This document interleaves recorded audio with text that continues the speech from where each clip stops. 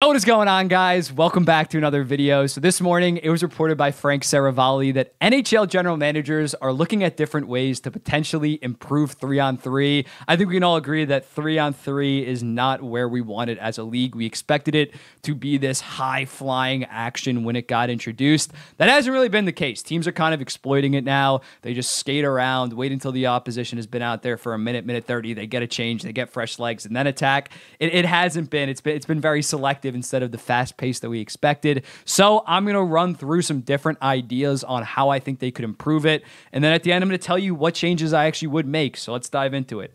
Up first, is kind of a half court red line rule. Basically, like in basketball, for those of you guys that don't know, once you cross half court, once you dribble it up, you cannot go, as long as you have possession, you cannot go back across behind that half court line. If I passed to my teammate once I crossed that was still behind, that would be a turnover. So something similarly like that in NHL three on three because right now you see it too much. Once a team is skating around, has some possession, but the guy's getting pressured, he decides to bring it out of the zone, go all the way back behind behind his own net, and just get a change, reset half court line would get rid of that. I, I, I think that this is a pretty decent idea. When looking at it, we see it far too often. These guys just reset, boring, boring, boring, and basically just kill 20, 30 seconds off. I remember I, like whenever I watch the Edmonton Oilers, sometimes like teams, if McDavid and Draisaitl are out there, they automatically just pull the puck wait 30 seconds, basically do nothing with it, just kill time until those guys are off the ice. And I think this would be a good idea. Right now,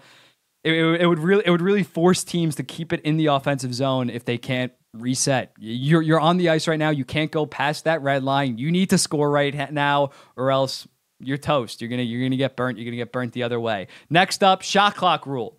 Shot clock. So let's say I think like a 30 second shot clock would be fair.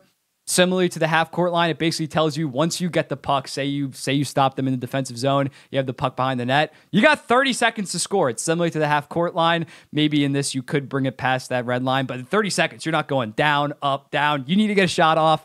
Basically, right now we see it too much. Teams are just holding for that perfect opportunity, waiting for that, and if not, they just bring it back out. A 30 second shot clock, maybe even 25. 20 seems a little bit a little bit too too small. But in a 30 second shot clock, teams would be far more offensive. Teams would probably shoot within 20 seconds most of the time, just just to not risk it. It would be a little bit tough to determine possession in terms of that shot clock. Like if there's a scrum, who's I guess I guess it just wouldn't stop, or it would stop whoever had it. But I think a shot clock, if there's parameters around it, could be a pretty decent idea. The next up is just getting rid of the shootout in order to basically get rid of the shootout and have ties. I've seen this one a lot. So the teams in overtime are trying to get that goal or else they're going to end up with one point. And get rid of tie, have ties, no loser point. So teams are going balls to the wall in overtime. I don't love this one that much. I'm going to be honest. I, I, I just don't like the idea of ties. Personally, for me, I think that it should be something, this point system should be something like three points for a regulation win, two for an OT shootout win, one for an OT shootout loss, zero for regulation loss.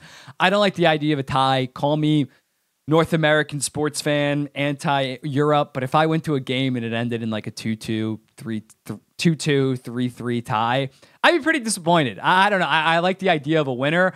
Uh, so I'm not a I'm a huge fan of this. I see the logic definitely in terms of if it was a tie, teams would be going balls to the wall at the end trying to get that goal. But also, you could have a, a, a reverb of that of teams just playing for a tie. Like I could imagine that being a disaster if at the end of the season teams just need one point to get in. They're playing each other, and they I, I don't know that, that probably won't happen. But I'm I'm not personally for this one. And then the last one is just having a longer three on three, going from five minutes to say 10, 15.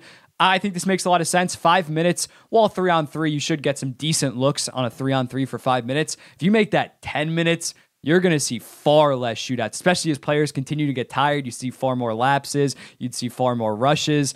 It, it, it, it, would be very interesting if they made it like a 10 minute OT just to see the amount that shootouts would go down because I do think they would go down a lot. So, in terms of what my solution personally would be, I think I would go half court half court rule, shot clock of 30 seconds in 10 minute overtime. I think you would see with those in place, I think you would see like 10% of games end in a shootout. I understand you can't, I wouldn't go 15, 20 minutes or continuous three on three. I think that is a little bit dangerous. Once players get that tired, you could see some some stupid decisions by players in terms of trying to injure guys, just players getting fatigued and and getting injured. So I, I don't love the idea of continuous nonstop overtime because you would have like the the one game that goes two full 20 minute periods or something like that that would be a disaster. I understand why they want to avoid that but i think 10 minutes would not be enough would, would not be so much more hockey that it's a really big problem and i think it would make a massive